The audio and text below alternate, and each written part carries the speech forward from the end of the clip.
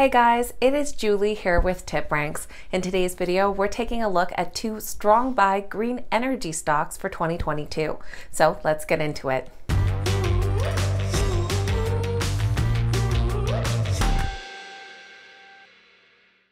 All right, guys, welcome back and thank you all so much for being here. Today, we're looking at two stocks to consider if you're wanting to add some green energy to your portfolio this year. Now, both of these stocks are Canadian for some added geographical diversification, and on top of that, they also pay a dividend. So, we're going to take a look at these companies, what it is that they do, and what the analysts are predicting for their stock's future. Just before we get into all of that, this is your friendly reminder that if you enjoy today's video, make sure you hit that thumbs up button and that you're subscribed to the channel as well. Okay, getting right into these two green energy stocks. First up today is a company called Northland Power.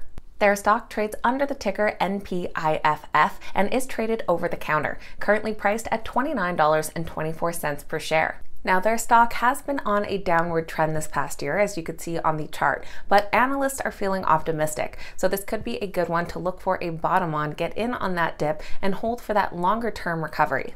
Northland Power is a leading global power producer dedicated to helping the clean energy transition, and they've had over 30 years of success developing, constructing, and operating power projects across a range of technologies. They provide clean and green energy in North America, Latin America, Asia, and Europe. They strongly focus on offshore wind power in Asia and Europe. Their company's facilities use wind, solar, natural gas, and other renewable energies to produce electricity. They're focused on balancing long term growth with near term cash flow. In the upcoming years, they want to develop onshore renewable projects with shorter incubation periods, and in the longer term, from 2026 to 2030, they're focusing on accelerating growth, with offshore wind driving significant growth in capacity and cash flow.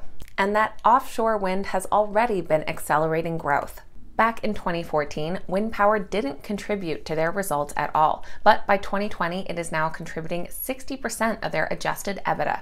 That total EBITDA for 2021 is expected to come in at 1.1 to 1.2 billion with free cash flow of $1.30 to $1.50 per share. The Northland Power stock is currently rated a strong buy from analysts with 7 buy ratings and 2 holds. Their average price target comes in at $37.31 per share, which would be an upside potential of 27% for this next year. On the low end, we do have a hold rating from a couple months ago, which would still be an upside of 17%. On the high end, we have a buy rating from Raymond James at over $42, which would be growth potential of 46%. Second on our list today is a larger company that you're more likely to have heard of and does trade here on the New York Stock Exchange. That is Suncor. Their stock trades under the ticker SU, currently priced at $25.81 per share, and pays a quarterly dividend with a current dividend yield of just above 3%. Suncor is an integrated company that produces and refines oils and also owns and operates four wind power facilities. They work with oil sands, exploration and production, refining, low carbon power, and fuels. With over 50 years of expertise in hydrogen, they've had 1.438 million liters of renewable fuels blended. They're also working on Canada's Electric Highway, which is a coast to coast electric vehicle fast charging network currently spanning 57 Petro Canada gas stations. Their strategy is to be Canada's leading energy company by growing their business in low greenhouse gas fuels, electricity, and hydrogen while sustaining and optimizing their existing hydrocarbon business and transforming their greenhouse gas footprint.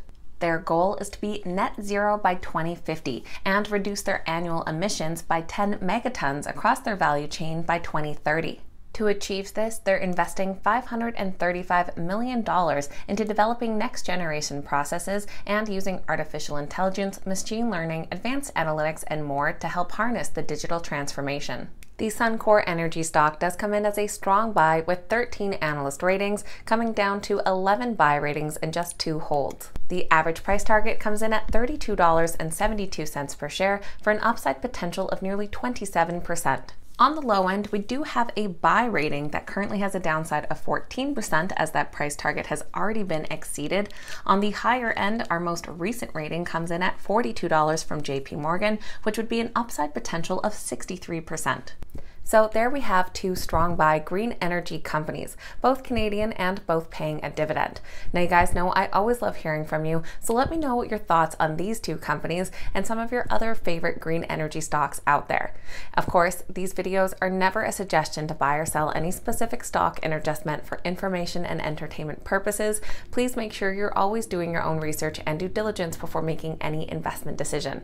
If you made it to the end of today's video, make sure you hit that thumbs up button and that you're subscribe to the channel as well. Thank you guys so much for watching. I hope you have a wonderful day, and I'll see you back here next time.